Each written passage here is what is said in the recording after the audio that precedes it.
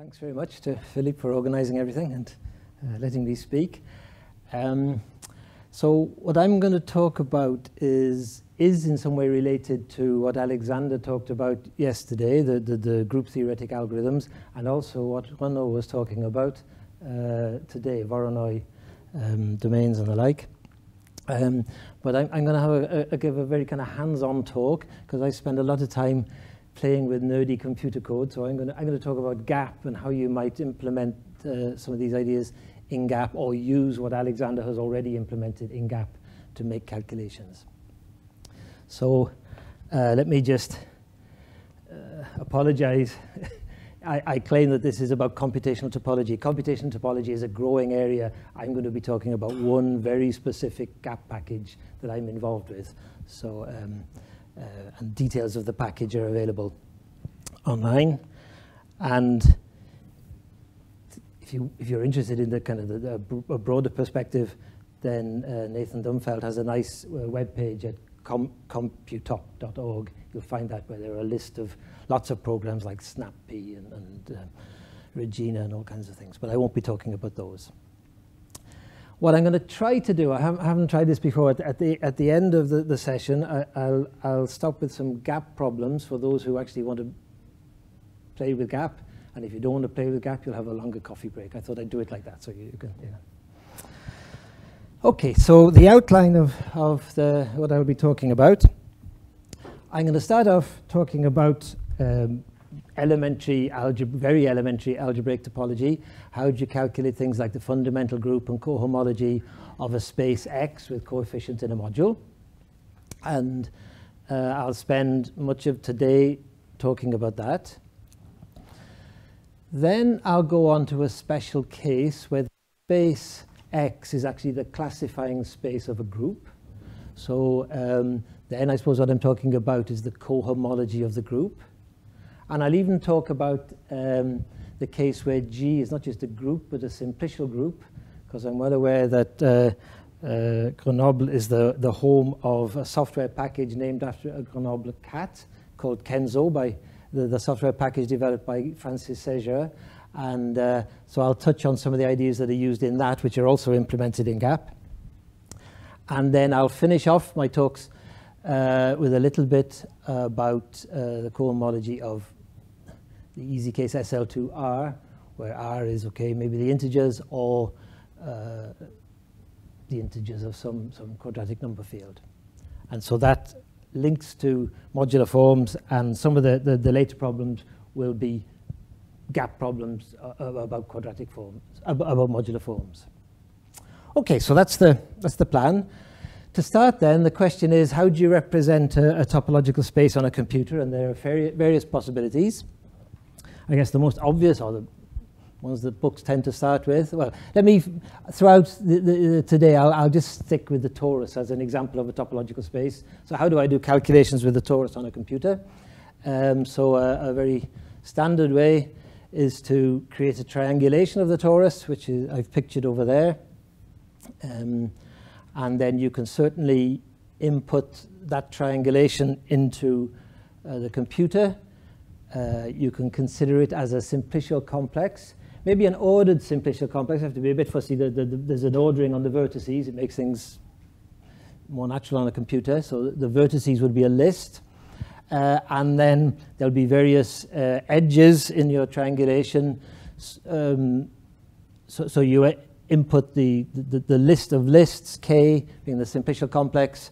So for each edge, you'll input a, an ordered list for each edge. And then for each triangle over there in your triangulation, you'll in, input a, a, a, list of length 3. And there you have a, a computer representation of the torus which I'll just keep a record. I think if I counted right, there are nine vertices there, 27 edges, and 18 triangles. You can actually do better. I think can, the minimal uh, triangulation has, I think it's eight vertices, so you, if you're bored with what I'm saying, you can try to recreate that.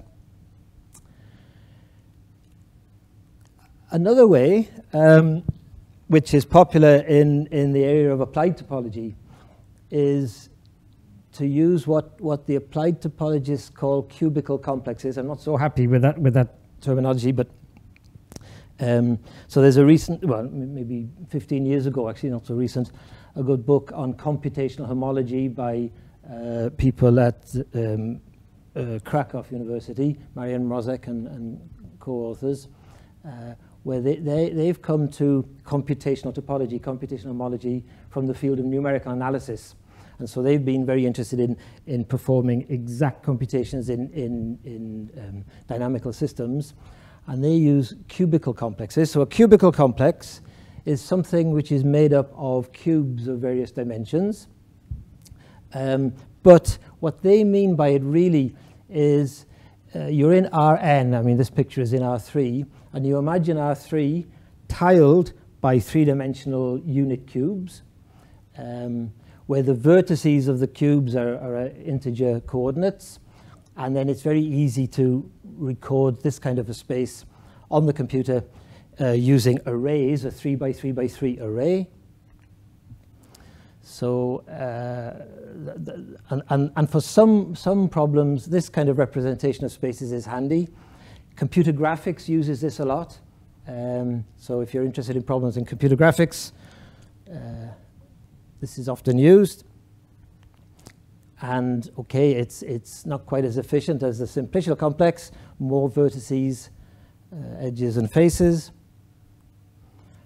And I will say, uh, because I'll give a, a, demonstration in a moment, that cubes are not the only uh, tessellations of three space that you might want to use. In particular, the permutahedron, this shape down here, is a nice uh, tile for three-dimensional space and that has some features that, that make it, uh, in, for some problems, better than a cube. Uh, but, you can, but again, you can, you can represent uh, permutahedral spaces using 3 by 3 by 3 arrays. Okay. And a third uh, representation, which is a bit more efficient, I suppose we can use this picture where now we have fewer vertices, uh, only four vertices, fewer edges and so on, fewer faces. Um, so what, does, what is that? Well, I guess that's a regular CW complex. So this picture of the torus, what have you got? You've, you've got faces of various dimensions, and you can store it on the computer as a poset, a face lattice. You just store the face lattice, um, for, for a regular CW complex. And it has fewer vertices, edges, and faces.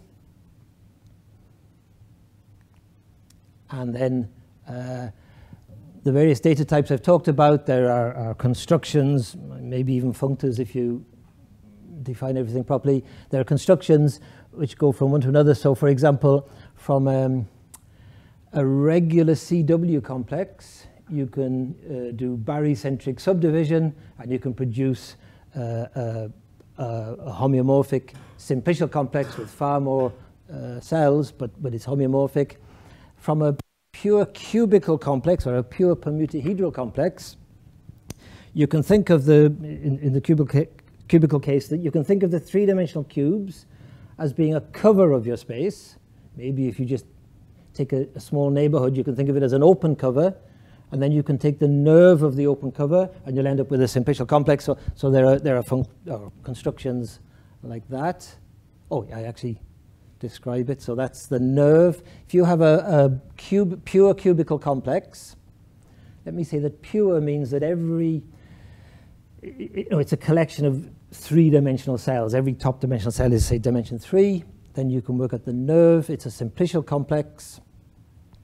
Um, just taking intersections. And then there's the barycentric subdivision, uh, which is the order complex of the face lattice. Okay, so there are, there are very standard ways to, to implement spaces on a computer. And now I can go to my gap section zero. This is where things will break down. But let's just, um, so I'm trying to kind of advertise the package that I'm talking about. So let me go to um, gap. I've put all of this code up on, on the web page that I sent a link out to, so if you, if you want to play with, with this afterwards, you, you can re reproduce it uh, at your leisure. But if I type in various commands, just to illustrate what I'm talking about, um, I'm going to do this primitively. I'm going to copy uh, various things. Ah, hang on, I have to do it click first. In gap, if I can find it.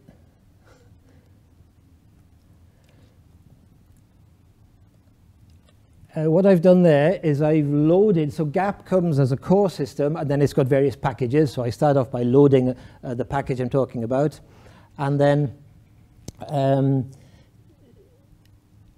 okay, so I've, I've, we've got knot theory. We can think of a knot uh, as being actually a physical knot, being a three-dimensional rope.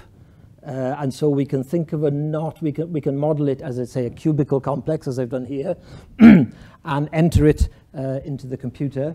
And now the next command might explain what I've done there. Um, I'm going to display the thing I've just created. And now we might have to wait a few seconds. Um, I'm using asymptote software for displaying, which is a piece of software that, that oh no, it was quick, okay. So for, for, for LaTeX. But here you see, for example, you can see it's a knot. It's, that's a thick piece of rope going around. It's the trefoil knot, and it's made up of unit cubes uh, in three-dimensional space. So that's an example of a, of a cubical complex uh, representing the trefoil knot. In fact, the embedding of the knot you know, the, the knot is an embedding. So, and let's go on. A few more. Um, I'll do a permuta permutahedral version of the trefoil knot. Ah, not so easy. Hang on.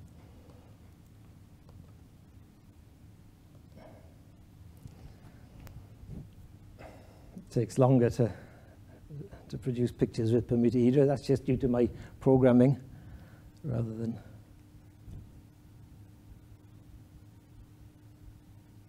Oh, there we go.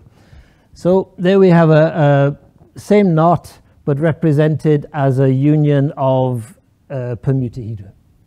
So it's a permutahedral, I, I don't know. so that's a permutahedral complex, but you can represent that just as an array, a binary array of zeros and ones. You put a one everywhere there's a brick and a zero everywhere that there isn't.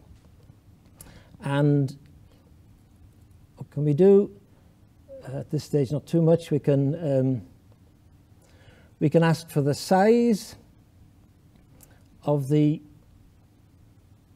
things we've created. So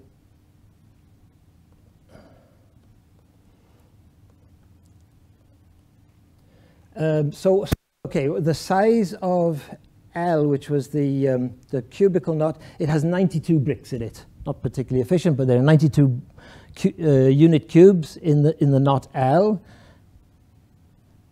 No, in the knot K. Um, and then what we can do, we can, we can convert K to a regular CW complex. Because whenever you have a, a cubical complex, a pure cubical complex, or a permutahedral complex, you can just change how it's represented on the computer. You can store its face lattice, and you get a um, uh, what I call a regular CW complex. So you're going to have more cells now because I'm counting all of the cells of every dimension, not just the top dimensional cells. And that's the size there. Just a few more commands, and we go back to. Oh, I can create the nerve of, let me do two together. So this should be a simplicial complex that I convert those knots to. Um,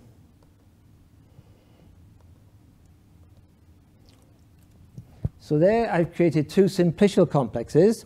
The nerve of K was two-dimensional because if you think about it, when cubes fit together, you, things aren't so nice. But, but the, the nice feature of um, permutahedra is if, if, that, if they touch, then they touch in a, in a, in a face of, of you know, a facet. So you get a one-dimensional representation here. So what I have there really is a, a circle. Um, and the, for the k, I get something homotopy equivalent to a circle. And I think that's about it, is it? So, oh yeah, and then we can just check that GAP is uh, performing calculations correctly. We can calculate the Euler characteristic and hope that we get the same answer in each case, which we do, zero, the Euler characteristic. Okay, so there's a, a computer demonstration. Uh, we go back to the slides and continue with the possible ways of representing things on a, on a computer. So when, when I was uh, a student, I think this was called a semi-simplicial uh, set, but now it seems to be called a delta complex. So um, the picture over there, uh, you can represent the torus as two triangles glued. Um, it's, you know, with, with, opposite faces identified, an A and a B and a C. Um, and how would you store that on a, on a computer or, or, in, how's it stored in, in algebraic topology textbooks? Um, you think of uh, three sets, the set of vertices, the set of edges, the set of faces, and then there are these face maps. Uh, D0 takes an edge. Every edge you think of as being oriented, and then the D0, I suppose you forget the zero vertex and take the opposite one. Uh, the D1, you forget the one vertex and take the opposite one, which would be the zero. And then if you have a triangular face, you've got three vertices, so D0 I think means you take the opposite edge and, and so on. So you get three maps and you can store those on a computer and, and that, that's you have a, a, a way of... And again, that's slightly more efficient than um, the regular CW complex, fewer edges and fewer faces. What have we got here? So, oh yeah, so there, there are the the um, the face maps, and then these face maps satisfy some well-known identities, which I'll just record here, um, because in any computer implementation, you would kind of make use of, of these identities that uh, which I hold in the box, and that's a delta complex. And then you can ask, well, what happens if you want to be more efficient? So I, I want to the torus. I think the next example is with a sphere Suppose you want to represent the sphere on a, on a computer. Uh, I suppose in any topology textbook, that's probably how you represent the sphere. You take a, a disk and glue the edges.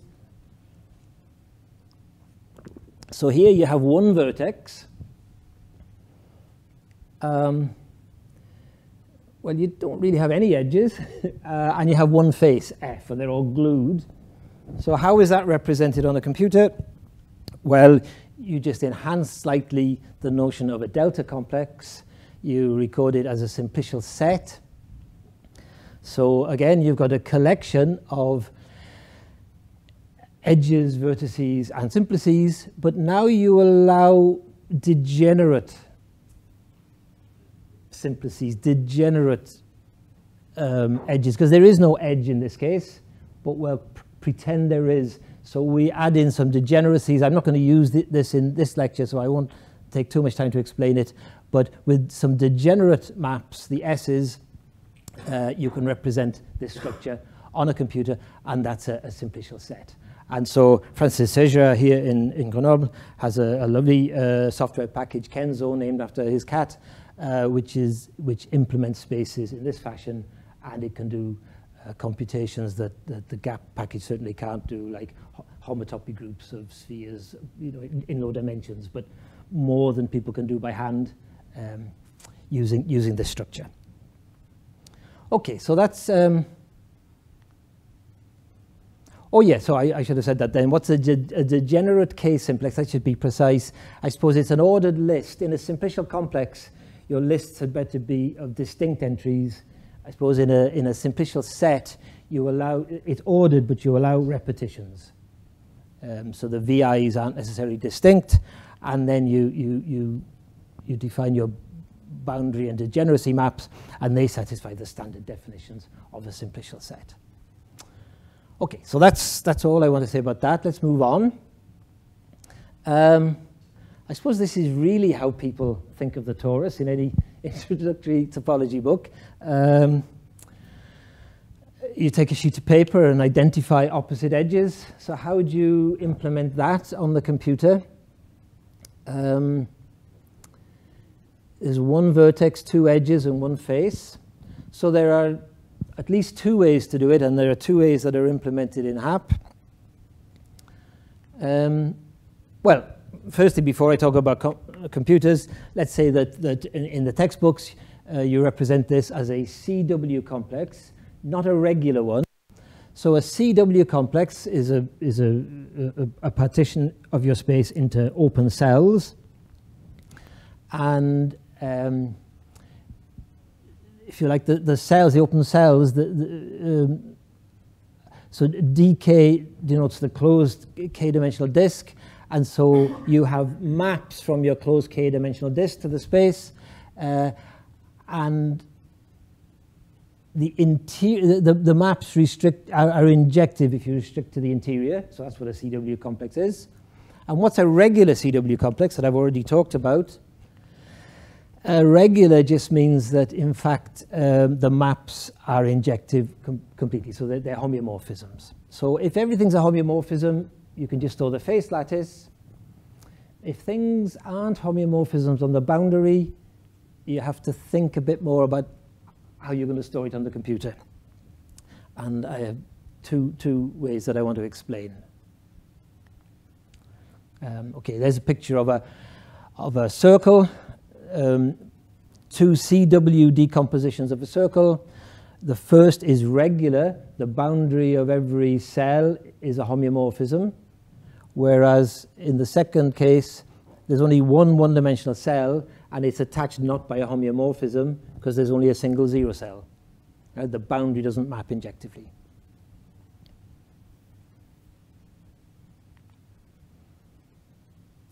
And so let me talk about two ways to, to implement CW complexes as opposed to re regular CW complexes. Regular CW complexes, they're kind of easy. It's just the, the face poset. Um, okay, so the, the more standard representation uh, is the following. So I'm trying to represent the torus on a computer. I might as well think of the universal cover of the torus. Uh, the universal cover of the torus, if I'm thinking of my torus as having, uh, uh as being, uh, you know, uh, having a single zero cell, its universal cover will actually be a regular CW complex, but, but it'll be infinite. So uh, you, can, you can actually store the, the, the, the universal cover rather than the, the, the torus itself. And what does storing the universal cover mean? Well, the universal cover, you, would want to... Sorry, is that true in general that the universal cover of a regular? Like in this case, yes. Oh, oh no, no, no, no. I'm, I'm, no, no, no. yeah, yeah, no, no, no, no, no, no. I mean, so I don't have. I mean, in general, I don't know how to store a regular CW complex. Uh, sorry, a, a, a, a non-regular CW complex, but there will be plenty of cases where things are non-regular for a for a trivial reason, and yeah, yeah, yeah. So uh, to, to, store it as the universal cover then, uh, we've got this infinite tessellation of the, the, universal cover is the plane, so you've got the infinite tessellation by uh, squares. But you've only, uh, under the fundamental group, which is translation in the x direction, translation in the y direction, you've only got one orbit of zero cell. There's only one orbit. So there's only need to store one representative of the orbit of the zero cells and record, I don't know how this works, uh,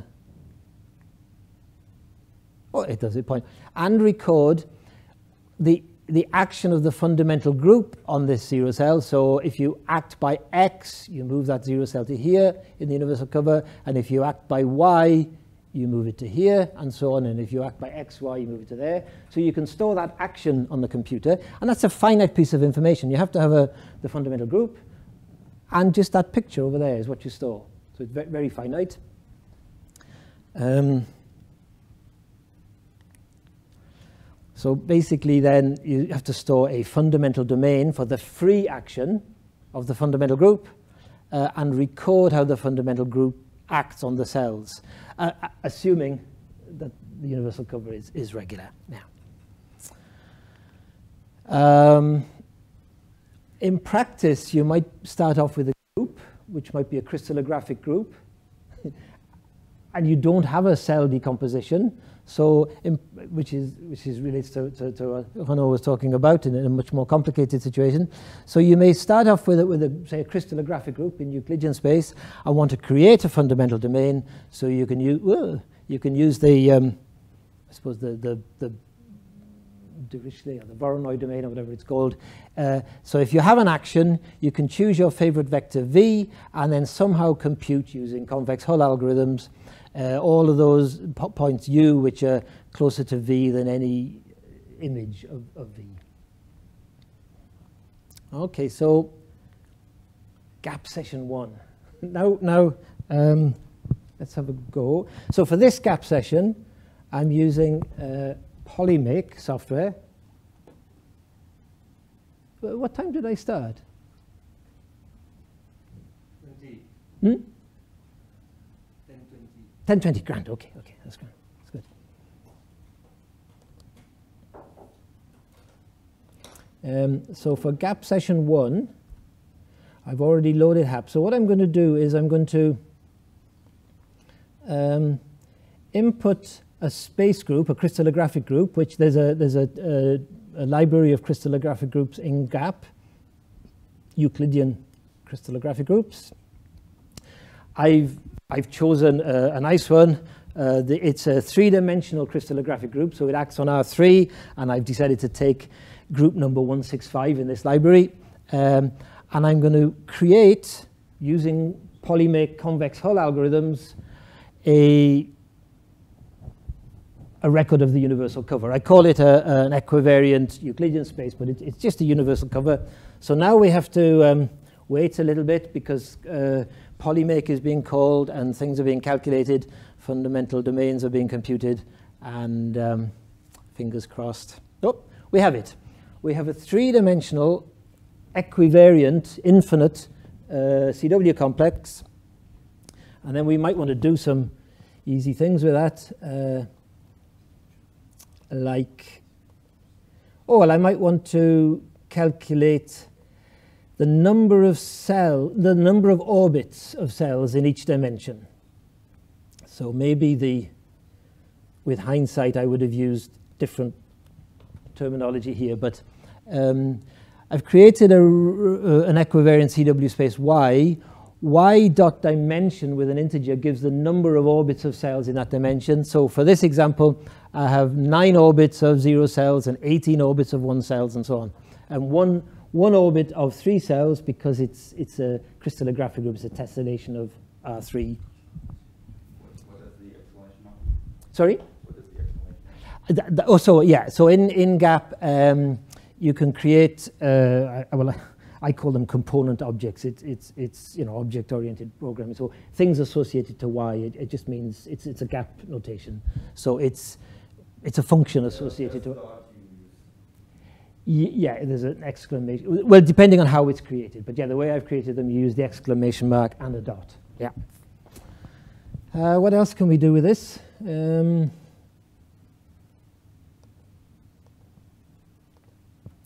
oh, well, we can ask for the stabilizers of the various cells. Well, I just do one uh, it should give us uh, the, the group that stabilizes a particular cell. Uh, so we can ask for this. And it gives us a matrix group. Uh, you can do things like what's the order of the group and so on. I mean, it's, it's a group. It's the identity, actually. Oh, it's the identity. Yes, I forgot. And in fact, the reason I chose group number 165 is that if I were to go through all of the cells, I'd always get the identity. In this example, it's a Bieberbach group the, the group acts freely, in the, I've chosen it so that the group acts freely on the universal cover. So what I have now is I have a universal cover, which is R3, a contractible space. The group acts freely on it, and so uh, I see that my slides aren't in the best order. But if you have a contractible, if you have a group G, and if you have a contractible space on, on which the group G acts freely, uh, you can take the quotient of that by the action of G, and then you have a space, and you can ask for the homology or the cohomology, uh, and that is by definition the homology of the group G. Well, with coefficients in Z. So if I wanted the, the cohomology of this group, I could uh, calculate it from this equivariant space. Let me do that. Um, I'll do it in, in all in one, speed things up.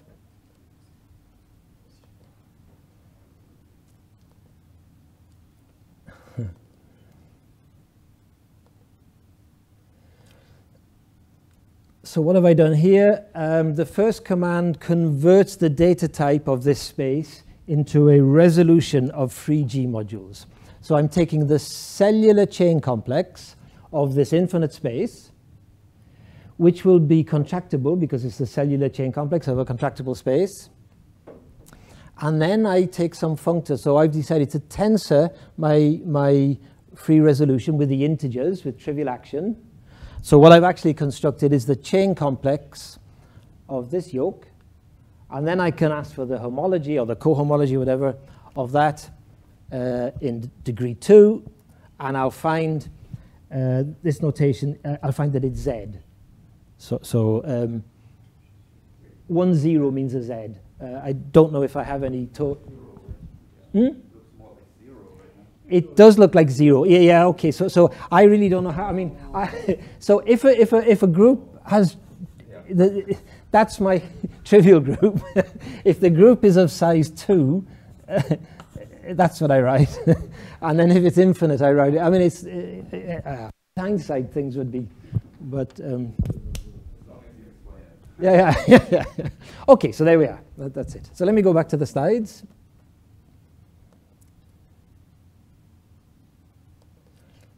Um, that was the GAP session. So now I have a pretty picture.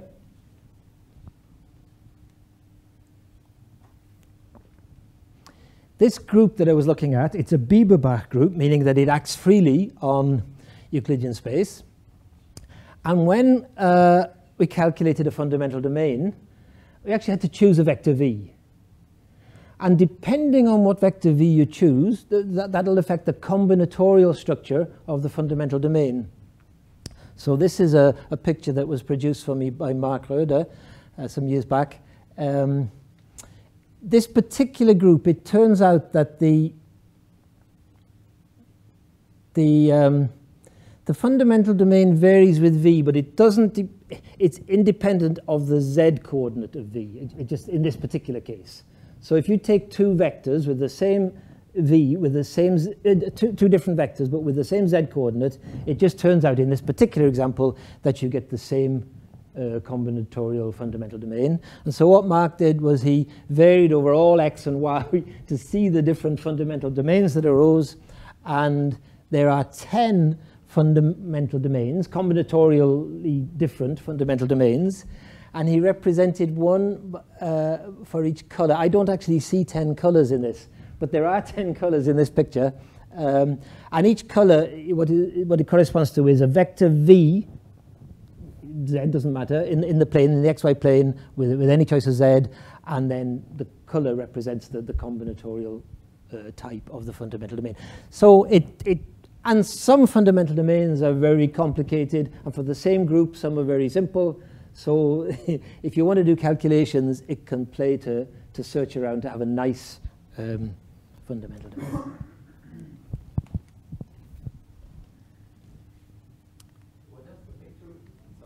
Yeah, okay, sorry, I went a bit too fast. So, so we have a, this particular group, number 165, which is a group that acts freely, it turns out, on, on three-dimensional space so for each point v in three-dimensional space, you can ask for the, the Voronoi domain or the Dirichlet. Yep? And that's going to have a combinatorial structure. And if you take different vector v's, you're going to get possibly different, combinatorially different structures. In this particular case, the structure of the fundamental domain ha happens to be independent of the choice, the z coordinate in your vector xyz. So for each xy in the xy plane, and any z, you, you choose a vector, work out what's the combinatorial structure. They, it turns out that there are 10 different combinatorial structures, so as, associate a color to each structure and then plot the colors. Yep would be one of these one of these so every point with a with a dark red would have the same combinatorial structure. That every point with a light blue would have the same combinatorial structure. Every I, I my trouble is I don't see 10 colors but there are 10 colors there. Um, oh you don't see the fundamental domain. I mean that we, we saw one. I I, I, I chose a, a, random V and we saw that it had nine vert I mean it, it was they, they can be complicated. Yeah. Um, you, you can picture the fundamental domain. I think I have that in a, in a few, I won't start doing live programming. um, okay. Um, okay, so this is, uh, so what I think I've explained is one way to represent the torus on a computer by using the, the universal cover uh, and group actions. Um, now I want to explain another way to represent the torus or, or um, non, you know, non-regular CW complex on a computer. Um, so let's go back to this regular CW complex in the left, which represents the torus. Yeah, so I've taken a sheet of paper, identified opposite edges. Uh, there's a cellular decomposition. And if you think about it, I hope anyway, the attaching maps of any cell are homeomorphisms, so it's regular. So you can represent that on the computer using the, the, the face poset. Um, let me now talk about uh, what's called a discrete vector field, which is a notion that goes back to um, Forman uh, back in the 1970s. So I want to explain what a discrete vector field is. So a discrete vector field on a regular CW complex is, I think of it as a collection of arrows. It's a collection of arrows, and the arrows go from a cell of, each arrow goes from a cell of dimension n to a cell of dimension n plus 1. So you have some arrows going from zero cells to one cells, some arrows going from one cells to two cells. Um, for a discrete vector field, any cell is involved in at most one arrow. A cell doesn't have to be involved in any arrow, but if it is inv by involved, I mean it's either the source or the target of at most one arrow. It, no cell can be involved in more than two arrows, so that's, that's grand there. Um, and that's essentially what a discrete vector field is. Um, in the picture over here, the cell F1 is the target of an arrow. The cell E3 is the source of an arrow. They're involved in arrows. But there are some cells like F2 is neither the source nor the target of an arrow. So we'll give that a name. We'll say it's critical. So the cells which aren't involved in an arrow we'll deem to be critical. Just a, and so when you have a discrete vector field, you have arrow cells and then the, the, the non-arrow cells which are critical. Ah, drat. Is it E5? Uh, yeah. Where's E? Where is E5? E5 is. E5 is, so that's, yeah, that's just clearly wrong. Um, yep, I'm wrong. okay, yeah, okay, I didn't, I must have looked at the top. Yeah, yeah, yeah, no, I see, so that's a mistake. Yeah, yeah, that's, that's a mistake, yeah, yeah. Um, so, oh yeah, that's the definition then, I should have given that. A discrete vector field on a regular CW space uh, consists of a collection of pairings, I suppose is the fancy way to say it, uh, involving a cell of dimension n and a cell of dimension n plus 1, such that the dimension of the target cell is one more than the dimension of the source cell in any arrow. Um, any cell is involved in a... Oh, oh no, it, it, so the, the um, Oh, oh, yeah, yeah, yeah. So I'm going from, an arrow going from cell EIN to EJN plus 1. So we require that EIN lies in the boundary of EJN plus 1. I suppose, strictly speaking, these cells are all open, so I have to talk about in the closure of the boundary. And no cell is involved in more than one arrow. So that's a discrete vector field. Um, let me say what we mean by an admissible discrete vector field. So if you have a vector field on a regular CW complex, um, we'll say then that a, a, sequence of arrows from E1n to E1n plus 1, E2n to E2n plus 1 is a chain if the cell EI plus 1 of n lies in the boundary of EI n plus 1. So I, I think that picture explains it better than the words. A chain is a sequence of arrows in the vector field like that. Um,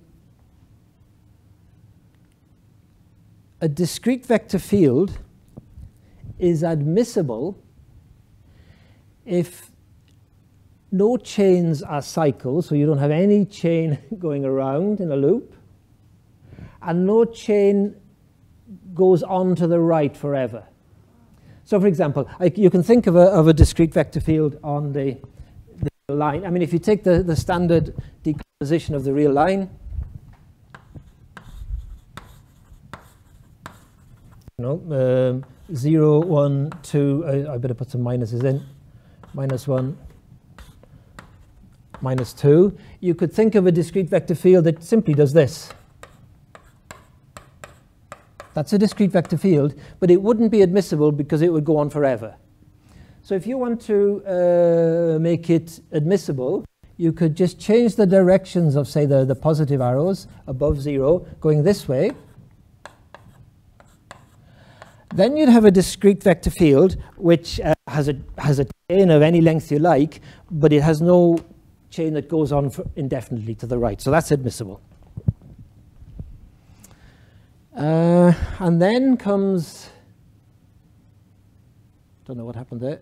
Oh, oh yeah, that's a, um, a, theorem due to uh, Forman. I, am going to put in Henry Whitehead as well because it, it all ties up with simple homotopy theory. So it's Forman introduced a very nice and, and, and important notation of, of vector fields, but it really goes back to simple homotopy theory.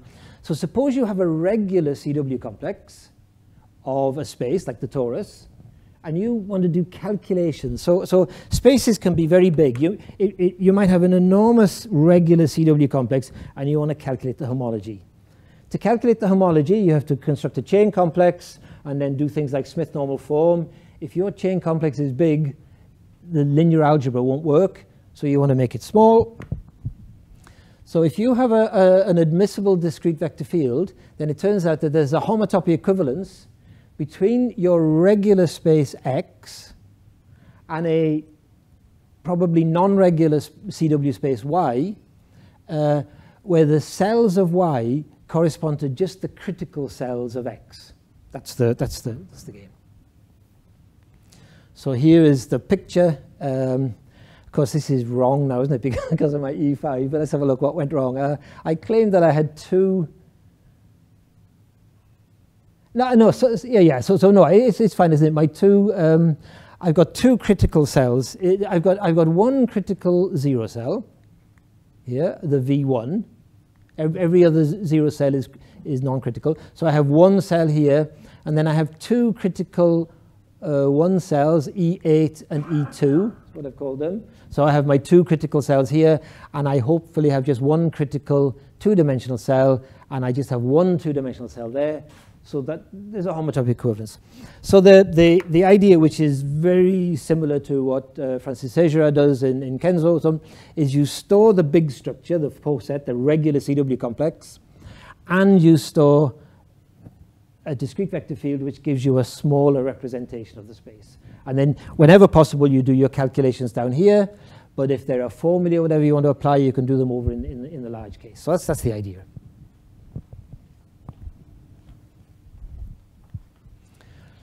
Uh, this is a proof of what? Oh, of the theorem. yeah, this is a proof of the theorem. So let me prove the theorem. Well, I suppose in the, in the torus case, what happens, I'm just doing it with one arrow.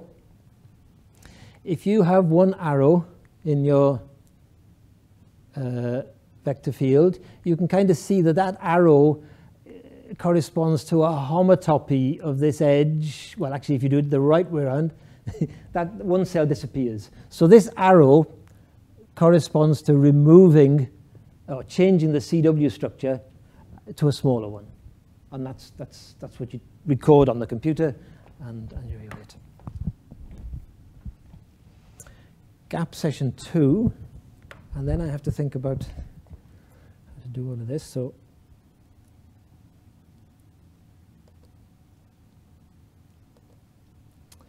let's have a look. Uh, oh yeah, okay, okay, okay. Um, we'll do some biology now.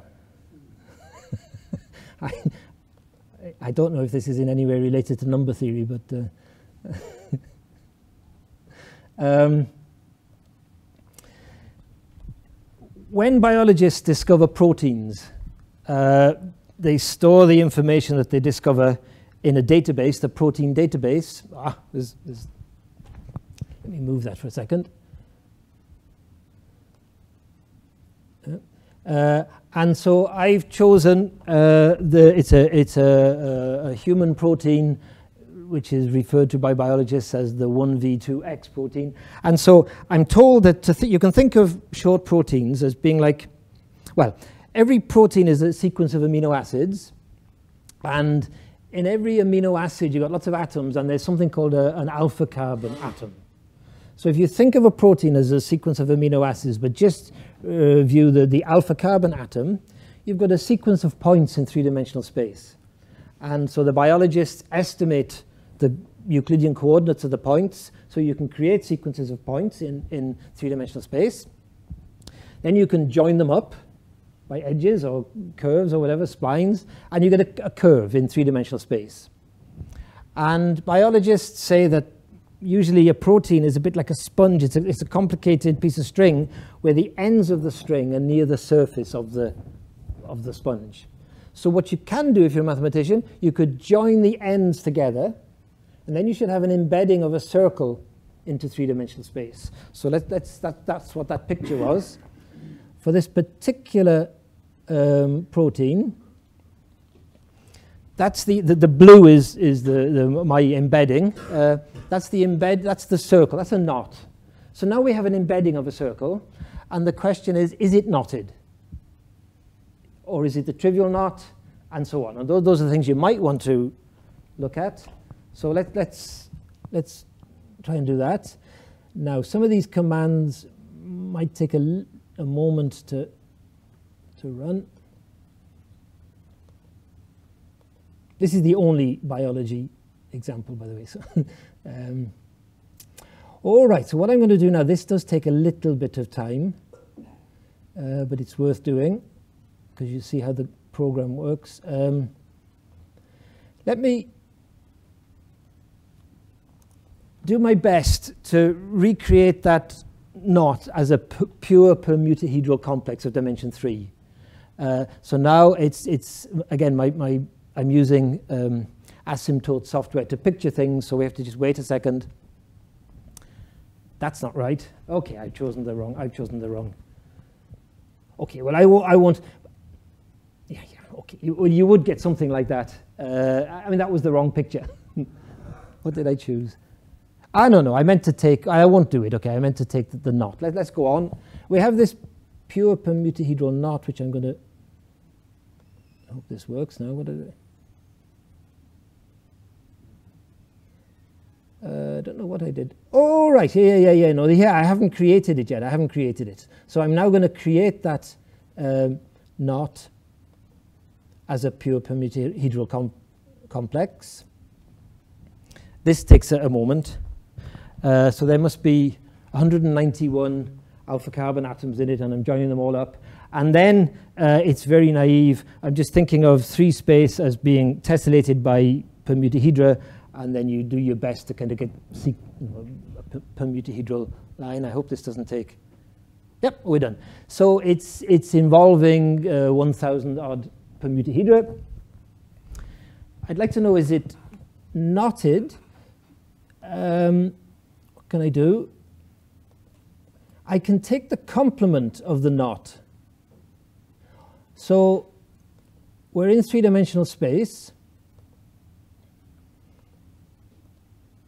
Um, I just, my, my, my, my K is just a sequence of, of tiles, and my complement is the, the things that aren't in the tiles. I take a finite box containing the knot, and then I just take the complement. So now I have the complement of the knot. Um,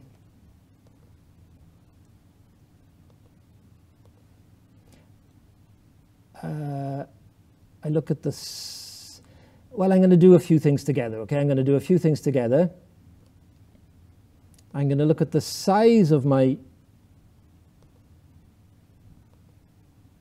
knot, which, wow, there are 418,000 permutahedra in the complement.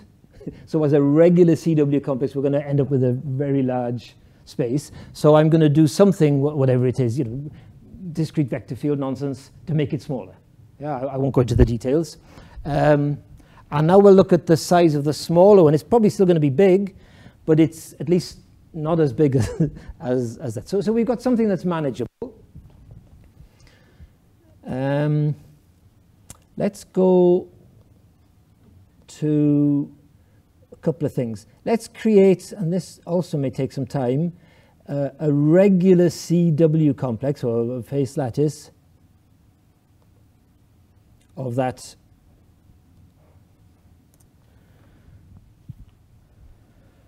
Oh yeah, it's done. Okay, so so we have this as a regular CW complex, and then uh, well, I'd like to maybe calculate the fundamental group because the fundamental group of a knot complement is a, is a knot invariant. Um, I'll do something a little bit more. Um,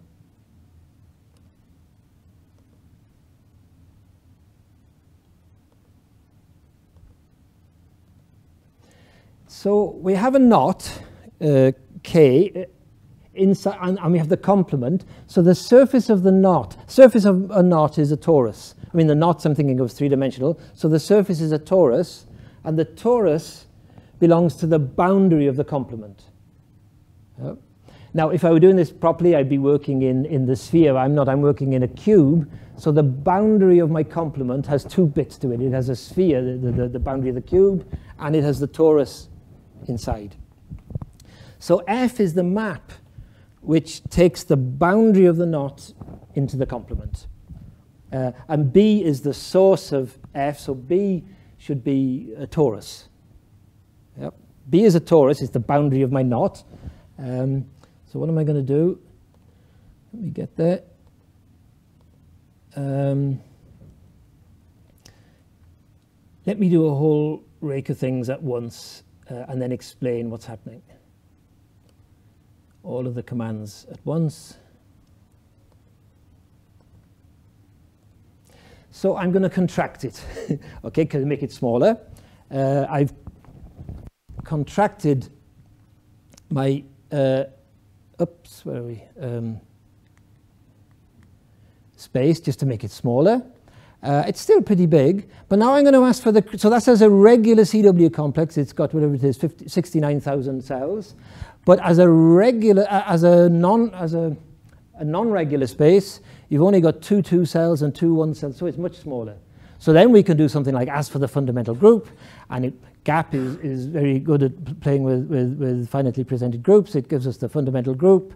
Um, in fact, we can do a bit more, because what I would like is not just the fundamental group, but the fundamental group is a functor on spaces, and I have a, a, an inclusion of the boundary torus into the complement.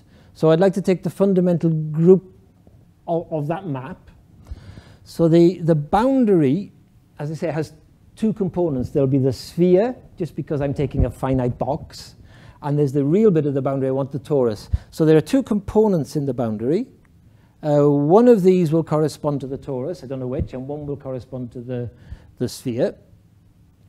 Uh, and I want the fundamental group, oh, well, well, it tells me here, I've done some investigation. This vertex it belongs to the torus part of the, compl uh, the complement. Uh, so now I'm going to take the fundamental group of this map F. So I should get a, a, a group homomorphism. Um, and there's the group homomorphism. And then in knot theory, going back to Waldhausen or whatever, this is really a complete knot invariant if you're careful about what you mean by that. This homomorphism tells us everything we need to know about the knot up to, uh, up to homeomorphism of the complement. So, so you could use that to decide what knot you've got. It's time for me to stop, isn't it? I started at 20 past, so I'll rethink about the, the problems because obviously I, I overshot.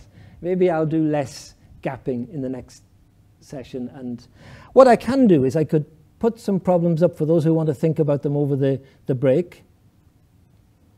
Um, if anybody's interested in playing with GAP, no, what happened here?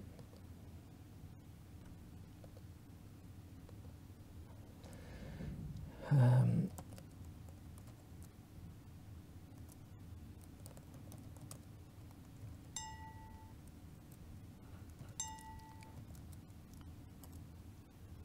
um, here is a here are a couple of I just leave the first one up the first one is enough